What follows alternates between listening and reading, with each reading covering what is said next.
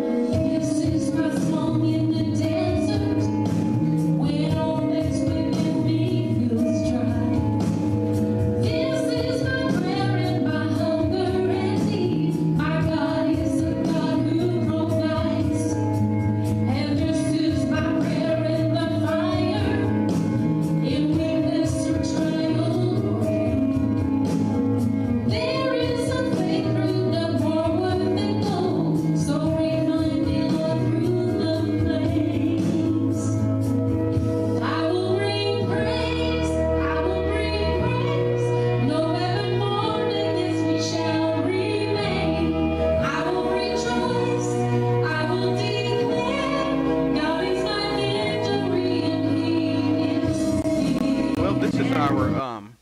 Session on the making of a vision. We're in Antlers, Oklahoma. And we're going to spend tonight and tomorrow night on this course, and then we're going to go to our second course on Saturday morning. So if uh, everybody would like to, if you want to turn to the first uh, page of the three basic steps in the vision process. The first one is developing your own vision. Then secondly, we have communicating your vision to others. And thirdly, developing the corporate vision with others. Um, so we see here that there is a process, and as we go through this process, it helps to begin to expand and to involve other people, and it uh, envelops the purposes for the kingdom of God. God's given each person an ability to discern certain things and to do certain things that will be a blessing to their lives and to the kingdom as well. Each of us have been uniquely fashioned and formed by God, and He has a plan and a purpose for every life. His plan for us uh, was laid down before the foundation of the world. And so it's not a new thing when ideas and creativity and vision begins to come into our heart and our lives. But God had a plan all along, and He designed for our lives. He's given each person certain natural abilities with which that we were born, as well as certain spiritual gifts as the Spirit Himself wills. He's equipped us for everything that He will ever ask us to do, and His gifts and callings are without repentance. Those gifts may be uh, just resting or lying dormant within us, but you can choose to submit to God and stir up those gifts to be used for His purpose. Studies have revealed that the average person possesses from 500 to 700 different skills and abilities. Uh, I'm wondering where the 699 other ones are that I have. Um, but anyway, far more than any of us have realized. For instance, our brain can store 1 trillion facts. Your mind can handle 15,000 decisions a second, um, as in the case when your digestive system is working. Your nose can smell up to 10,000 different odors. Your touch can detect an item 1 25,000th of an inch thick, and your tongue can taste one part of quinine in 2 million parts of water. You are a bundle of incredible abilities and amazing creation of God. That is pretty fascinating when you think about it. Amen. Uh, Jesus is our perfect example, of course. He came to earth and he lived as a man in order to demonstrate how that we are to live our lives as individuals in relationship with the Heavenly Father and in relationship with each other. Uh, he was the perfect leader and he used his abilities of self-mastery, action, and relationship skills to train and motivate his team of disciples. When we think about it, Jesus followed three simple premises. The first one was is that one person trained 12 human beings who went on to influence the world in, to such a degree that time itself is now recorded as being before BC and after AD. In other words, you know, that's how we how we uh, actually manage our calendar. He worked with a staff that was totally human, not divine. A staff that, in spite of illiteracy, questionable backgrounds, fractious feelings, and momentary cowardice, went on to accomplish the task that he trained them to do. They did this for one main reason, and that was because they wanted to be with him again. His leadership, number three, style was intended to be put to use by any of us. And that's the, the beautiful thing about Christ, is that when we look at his life and how he modeled leadership, uh, he, it's not that complicated. It's not that difficult. He did it with the simplicity, but at the same time it was powerful and it was life changing. And we can do what he did. Jesus was a young leader himself who, like a lot of us here tonight, had to depend on others to accomplish a goal. His task was to change the world, and he only had three years in which to do that and to prepare those that would come after him. Uh, so, what did he do? Jesus possessed three characteristics of strengths that we can also possess and grow to maturity in. They are the strength of, ma- of self mastery, the strength of action, and the strength of relationship. So, these are three powerful concepts that if we take time to meditate on these and look at the life of Jesus, we see that these are key elements into being successful in life as leaders. So, as we go through our study here this weekend, we want to open our heart to the Holy Spirit and our minds and receive what God wants to reveal to us about vision um, and about our lives and how we fit into His overall program in this world today. God has amazing and wonderful things in store for each one of us here tonight. If we go to the next page, the introduction to vision, we see the need for vision. Various translations of Proverbs 29:18 give us insight into the meaning of this verse. Um, Proverbs 29:18 basically tells us that without a vision, the people perish. And we're going to look here at some of the different uh, translations, which would really expand our understanding. The King James, in the margin, it says, Where there is no vision, the people are made naked. In other words, they're exposed. The Amplified says, Where there is no vision or redemptive revelations of God, the people perish. The New American Standard Bible says, Where there is no vision or revelation, the people are unrestrained. NIV says, Where there is no revelation, the people cast off restraint. Uh, the NAB says, Without prophecy, the people become demoralized. The Swedish translation says that where there is no progressive vision, the people dwell carelessly. Um, then other translations say things like, where there are no guidelines, the people run riot. Where there is no word of God, the people are uncontrolled. Where there is ignorance of God, the people run wild. Without revelation, a nation fades, but it prospers in knowing the law. Uh, the FF translation tells us. So the Strong's Concordance provides the following definition of the Hebrew word. Uh, Strong's number 2377, and it's Hazan. It means uh, vision, revelation, a message from God with a posit- possible focus on the visual aspects of the message. And then uh, the Strong's Concordance also provides the following definition in the Hebrew word, which is para, and it's 6544. It means as being to take the lead, to be out of control, to be unkempt, to ignore, avoid, to be unkempt, to be running wild, to be unrestrained, to let neglect, to promote wickedness, to uncover, to make, to be made naked, uh, refuseth, avenging, avoid, bear, go back, let, naked, perish, refuse, set it not. So basically what the Strong's is giving us is this both aspects of this word here that we're talking about right now. Uh, the Dake's Annotated Reference Bible comments, where there is no vision or consciousness of responsibility regarding keeping the law, the people perish for its lack of enforcement.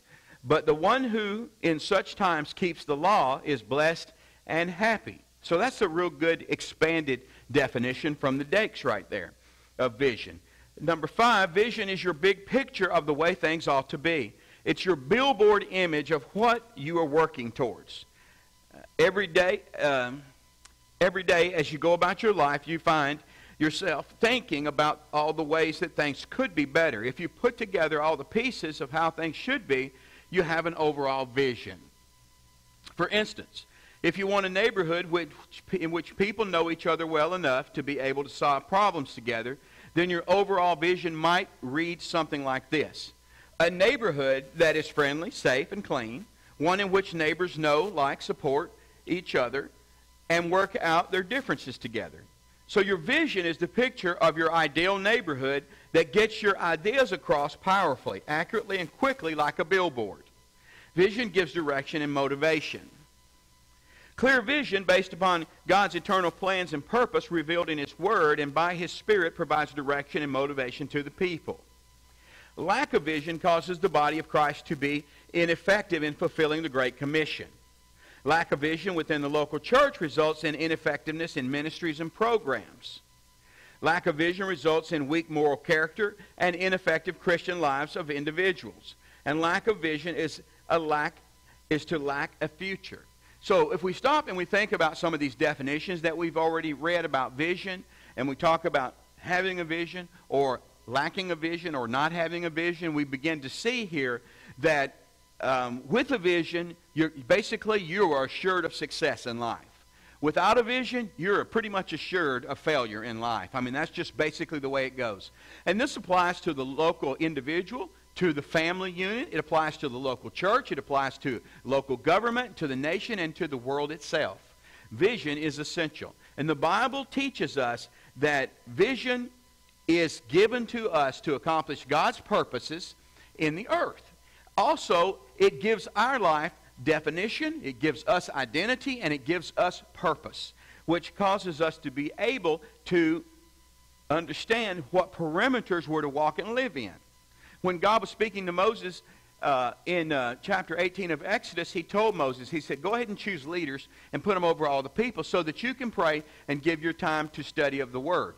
He says, and then, then you will go and you will instruct the people in the work they shall do and the way they shall go. Okay? And so this is what's so important. And this is why ministers and pastors, all of us for that matter, need to be uh, clearly understanding what the vision that God has given is and then be communicating that to one another because anyone who doesn't have vision is going to cast off restraint. In other words, they don't know what the guidelines are. That's what's wrong with society right now. What's wrong with our government right now and in this, this presidential race, there's no vision. See, neither party has a vision. And so basically we have renegades in both parties. I hate to say it, but it's the truth. And it's simply because we as a people and as a nation have no vision. And so what happened? We cast off restraint. Now we've got uh, a one on the one hand we've got a guy who's rude, who you know is inconsiderate. On the other hand, we've just got a global crook running. You know, and so basically, what do we do here? We don't have much choices because we don't have vision. And that's what's happened in our country. And this is what happens to churches sometimes. So, number two, leaders need to become visionary leaders that understand God's vision so that they may empower others to fulfill the vision. So, as a leader, it's our responsibility to get the vision from God and then communicate it to others. When we communicate to others and they receive vision, it empowers. It does. Once I know what God wants me to do, then I have faith I have confidence. I am assured that God will back me up and support me in what I do. And this is what is so important that why it's so important for leaders to have vision. Because people depend on those over them in the Lord to give vision and confirm vision. Amen. Spiritual wisdom is needed to discern the destroyers of vision and to overcome the obstacles. Vision statements uh, should be developed and communicated in such a way that it can be implemented um, Habakkuk 2 2 says, Then the Lord answered me and said, Write the vision and make it plain on tablets, that he may run who reads it. The idea of the concept that this is talking about was in the day and time this was written. Cities were walled for protection, and uh, they didn't have a local newspaper. They didn't have the New York Times, the, the Washington Post, and they didn't have the internet and all these things. So what they did was is they would write the news within their city walls on the outside of the wall. And they had runners who ran from city to city. And as they would run, they didn't stop and go in the city because there were people on the walls, watchmen on the walls. And when they would run by, they would shout the news from the previous cities they passed because they read it on the walls of the cities. And so that's how news was passed from village to village and from city to city and from, you know, uh, fortified uh, communities to the other. So he would run by and he would tell what he read in the last two or three cities he passed. And then he would read the wall at the same time from that one. And in the next city, he would tell the, the news of those four cities and read the wall. And that's what this is talking about. It's saying that if you write it on the wall, then it can be followed out and it can be communicated. And so this is why we need to do this. Number three, prayer, dedication, and preciseness are required for vision development. So uh, vision development, it's a skill.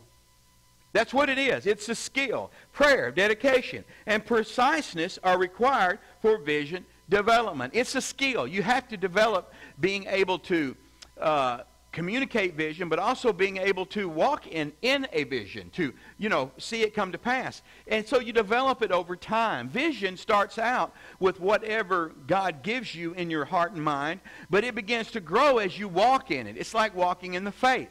The further you go in by faith, the further you can see. But if you stop and you say, well, I'm not moving because I can't see that far down the road, well, that's doubt and unbelief. But when you walk in faith or when you walk in vision, the further you go, the further you can see. It opens up and your understanding becomes clearer. Okay? Uh, so a real vision gets tucked away in the mind, not the drawer, and it shapes every thought and decision. At the same time, a vision is a spiritual statement of one's relation to God and the rest of humanity. It is the very quality that makes it so relevant to our day to day experience. A true vision is a blueprint for daily action. And this is a quote from the Foreword to Vision Driven Leadership um, uh, writings, book, whatever, and it's by uh, Blanchard.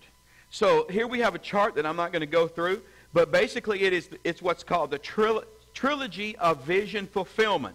And vision fulfillment requires a theology, which is the foundation for the vision. It requires teaching, which is the formation of the vision, and then teamwork, which is the fulfillment of the vision. And as you look at down through these 11, 12 different uh, areas of theology, you see that once the foundation for the vision is laid out in that area, then you have to communicate it. You have to teach it. Teach it. And then once you teach it, you then can implement it as a team. But all vision requires more than we're capable of doing ourselves. God always gives vision that's bigger than you are. And, and, and if you're a corporate group, it's bigger than the corporate group. It's not unlike Acts 1 8, where the scripture says, And you shall receive power after that. The Holy Ghost has come upon you, and you shall be witnesses unto Jerusalem, Judea, Samaria, and the uttermost parts of the earth. That's an impossibility. Because in the Greek, the connotation is, is that you're to do all of those at one time. Most churches aren't even successful at winning their Jerusalem, their local city. But yet God says, in the Greek, I want you to do every bit of it at one time. And the idea is, is that God doesn't want you doing it in your own strength and ability. He wants you doing it in the power of the Holy Ghost. That's why he said in the first part of that, and you shall receive power. After that, the Holy Ghost has come upon you. Now you can do it in the power of God's Spirit. Amen? And so if you want to read through these, you can at some point, but uh, it, because they're, actually they're powerful. And uh, if you were going to be like teaching vision in the sense of to the local church, and you were establishing a local church, you would want to cover the theology of each one of these areas, then teach it, and then begin to implement it. That's what's really being communicated here, okay? Now, under Roman numeral number two, characteristics of a leader, the definition of leadership. Leadership is influencing others toward a common goal. That's a quote by John from John Maxwell. Leadership is influencing others toward a common goal. Obviously, a vision is not any good until you communicate it. And then once you communicate it, the leadership catches a hold of that vision, and then together we work to fulfill that goal. Godly leadership skills are needed in every area of life or arena of life, not just the church, but, harass, but harnessing and receiving spiritual energy, wisdom, and strength. You can become an empowered leader to your generation. Influence and goal and a goal are necessary components of achieving leadership. A leader guides his team toward an achievable goal. This is where we're going, in other words. You know, someone's got to stand up and say, follow me. This is where we're going. And that's what vision is. The vision that gives focus and direction to people. When a target is set, others know what is expected of them, and they'll work towards that goal. But when there's confusion, the Bible says there's evil and every kind of thing imaginable. And so it's important to have vision because when there's not vision, there's confusion. And confusion eventually is that place that without vision where people cast off restraint. In other words, that's where you see the church in the Western world today. The church in the Western world has in its pews or in its chairs people that are participating openly in all kinds of sin and immorality that the Bible teaches against. And the reason is is because there's no vision preached in many churches today. What vision am I talking about? They're not preaching righteousness and holiness and the kind of things that set vision in the hearts of people to live right and to live holy. That's why people don't live that way, because they just cast off restraint. Do you understand? Sometimes people say, you need to quit preaching about sin or against sin. Well, you don't have to preach against sin to expose sin. All you have to do is cast vision. The Bible teaches a holy life. The Bible teaches righteousness. The Bible teaches a victorious, overcoming life from the things of the world. Amen? You preach vision, and people will cast off sin. Because why? Because now they have restraints. Amen? Uh, people are just looking for somebody to tell them, walk between this line and this line. You know, live in this area right here. If we just preach truth and cast vision, vision that's given in the Word of God, then the Holy Spirit will bring the conviction. Amen? Amen. So um, a leader must have, have the vision of a better circumstance and the influence to cause people to follow. Now, influence comes about and it's earned. It takes a little bit of time. It comes through relationship. People coming to trust you. People coming to respect you. But then that leader has to then cast a vision that offers them something that's better than what they have. That's vision. If we're offering people, uh, giving people only to sacrifice, but we're not promising them a better life, most people are not going to go with you. They're not. But you know what? If you promise people a better life, and then ask them to sacrifice, most people will go with you. They'll sacrifice if in the end something better is going to come out of it. You remember Jesus in uh, John chapter 12, verse 25, roughly, when he's speaking to the, to the disciples, he says, I'm about to be glorified. And you can't you imagine, after three and a half years, they're like, oh, thank God, finally. And then he says, like a corn or grain of wheat goes in the ground and dies, and then it, you know, comes forth, and they didn't get that. So then he says, okay, let me put it to you this way. If you want to gain your life, you're going to have to lose your life. You know? Well, that's the very aspect right there. Uh, pe- people are willing to give up their lives if they know that in the end they will gain new life. Okay? People just are looking for a better life. So everything rises and falls on leadership. Leadership skills, like any other skill, can be learned and nurtured through time, practice, and experience. There are different types of leadership. Uh, there are many types of leadership styles, but we're going to concentrate on two primary ones. That's visionary leadership and servant leadership. Visionary leadership is leadership with a compelling vision of a better future. These types of leaders have something that they are extremely passionate about or deeply believe, and they seek to find like-minded people to fulfill the vision together with. Sharing the vision is effective and yields results, obviously. Now, servant leadership is an attitude to serve those who are under your care. Servanthood is not a weakness, but it is a strength. You'll win the hearts of the people as they see your heart for them. Um, it's one of the things that we have to do. You can't cast a vision to people and expect them to grasp it if they don't trust you. So how do I get people to trust me? First of all, I show them that I'm a servant leader. Amen. I serve them. I, I, give them an opportunity to know me, me. I give them an opportunity to see that what I do and what I believe in and what I see down the road is there to benefit them. Amen. And then you gain influence. Then you gain trust. Now you can become a visionary leader. And you can begin to speak to those things and share those things. And they're able to receive them because now they trust you. They know that your heart as a leader is to benefit them. Amen. So a combination of the two is necessary for godly leadership. Jesus came to give his life and to serve humanity. He was both visionary and he was a servant. Other types of leadership styles would be an autocratic leadership.